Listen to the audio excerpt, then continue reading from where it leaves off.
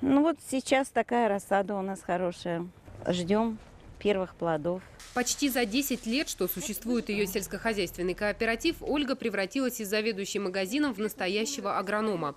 Лук, картошка, морковка, перцы, баклажаны и даже арбузы. Это далеко не все, что расположилось на землях предприятия «Газар». Весна – время посева, а значит больших затрат. Если они нам сейчас помогут, то получается беспроцентные деньги. То есть не надо брать в банке кредит.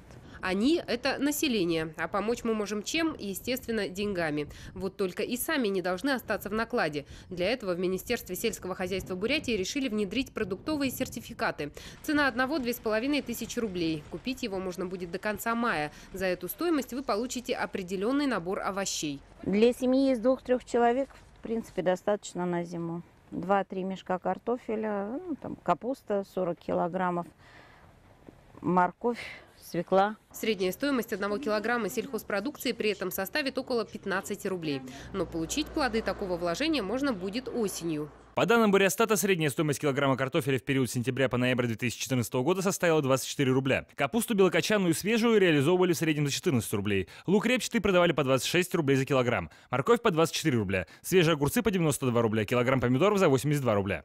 Исходя из этих данных, выгода очевидна. А значит, такая предоплата может окупиться. Производитель должен будет привезти товар прямо к подъезду. Но чтобы приобрести это новшество, в район ехать не придется. Однако у горожан уже появились опасения. То есть, если не будет урожая, да, кто мне застрахует? То есть, я покупаю этот сертификат, трачу свои деньги, получается, правильно?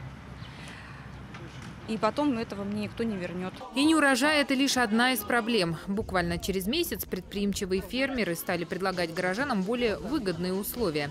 Гагарина, 22. Сюда мы отправились по следам загадочного продавца продовольственных сертификатов по сниженным ценам.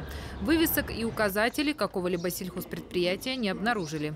Ну, приходила женщина, а, клиенты к ней приходил, я это не знаю. Последний раз когда ее видели женщину? Где-то неделю назад.